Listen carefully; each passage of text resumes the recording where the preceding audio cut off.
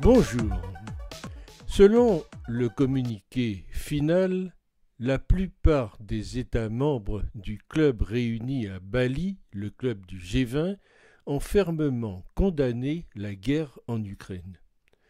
Peu importe le mot, ce plupart qui, dans le communiqué final du G20, signale que tous les membres du groupe des 20 pays les plus puissants de la planète ne partagent pas à 100% la condamnation implicite de la Russie dans les conclusions du sommet de Bali.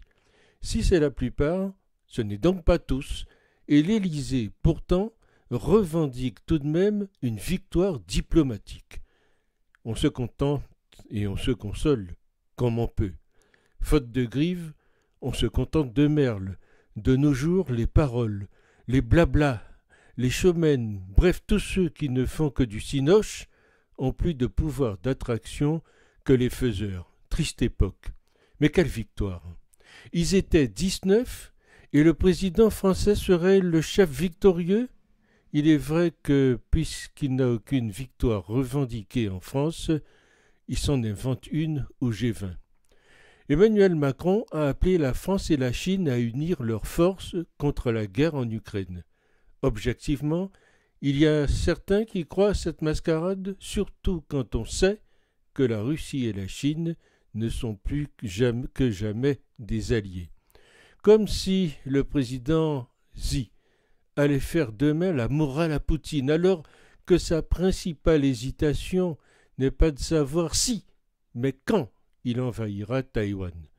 La Chine a déjà depuis longtemps choisi son camp, oui, le sien.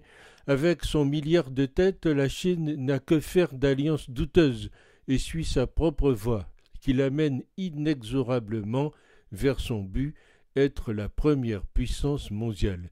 Elle soutient la Russie, comme la corde soutient le pendu, en lorgnant sur les immenses richesses naturelles de ce pays en voie de perdition et qu'elle chérit en le serrant fort dans ses bras pour l'étouffer. Désolé de devoir le dire, mais s'il y a un pays qui ne doit pas se sentir concerné par ce conflit, c'est bien la Chine, pas plus que l'Inde, pas plus que l'Indonésie et quelques autres. Pour eux, ce sont des histoires d'Européens. Sauf que les Chinois sont là, ne sont pas là pour s'unir, ils sont là pour conquérir des parts de marché. La naïveté des européistes est confondante et même navrante. Pour les Chinois, la France n'est qu'un pays de 67 millions d'habitants, seule la puissance économique peut avoir de l'importance pour bouger les Chinois et nous ne sommes qu'un pays endetté jusqu'au cou. Donc nous ne sommes guère en mesure de peser dans les débats. En fait, aucun des deux ne change ses positions. M. Macron veut que la Chine condamne la Russie et se rallie à sa team. On frôle l'ingérence, non? Et si on revoyait nos positions pour tenter de radoucir Poutine plutôt? Ah oui, c'est vrai, l'oncle Sam n'est pas OK. À demain